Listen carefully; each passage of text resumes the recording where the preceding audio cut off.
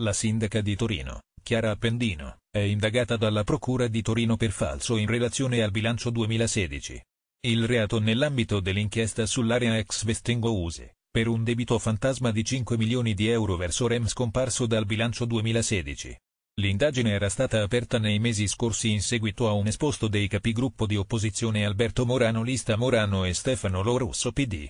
Con Appendino è indagato anche Sergio Rolando, L'assessore al bilancio. Immediato il commento della prima cittadina sono assolutamente serena e pronta a collaborare con la magistratura, certa di aver sempre perseguito con il massimo rigore l'interesse della città e dei torinesi.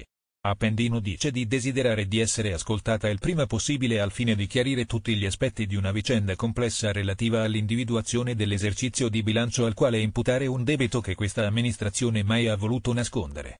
Per quanto mi riguarda massimo garantismo anche per lei, noi non siamo grillini, commenta il senatore PD, Stefano Esposito. L inchiesta, aperta dal PM Marco Gianoglio, riguarda l'area ex Vestingo Use e i 5 milioni di euro che il comune di Torino avrebbe dovuto restituire a REM, partecipata della fondazione CRT che nel 2012 aveva acquisito il diritto di prelazione sull'area.